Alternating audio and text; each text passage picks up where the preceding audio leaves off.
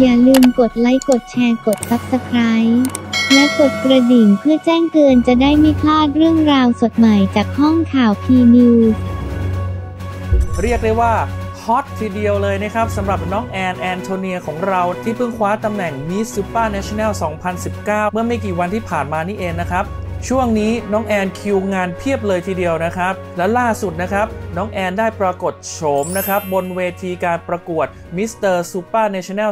2019 ที่ประเทศโปแลนด์ด้วยชุดสีเขียวสวยงามมากนะครับ น้องแอนเป็นหนึ่งในกรรมการตัดสิน แล้วก็เป็นผู้มอบถ้วยรางวัลบนเวที สวยโดดเด่นมากเลยทีเดียวนะครับสำหรับน้องแอนแอนโทเนียโพซิลสำหรับ Mr. Super National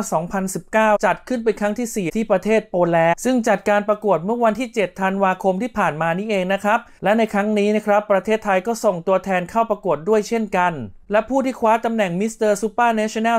2019 ได้แก่หนุ่มเนสโครวิกจากประเทศสหรัฐอเมริกานะครับ อันดับที่ 2 นะครับ รองอันดับ 1 ได้แก่หนุ่มหล่อจากบราซิลนะครับ และอันดับที่ 3 นะครับ หนุ่มหล่อจากประเทศเปรูนั่นเอง ส่วนตัวแทนจากประเทศไทยนะครับ น้องต้องชานชัยรุ่งพิสิทธิ์นะครับ เข้ารอบ 20 คนสุดท้าย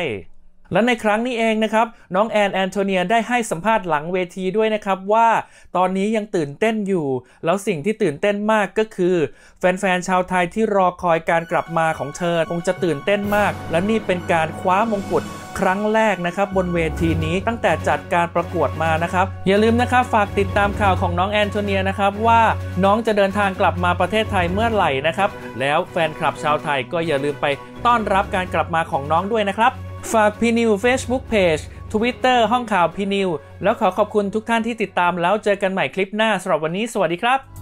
สำหรับคุณผู้ชมที่รับชมห้องข่าวพีนิวทางมือถืออย่าลืมกด Subscribe ตรงนี้ด้วยนะคะ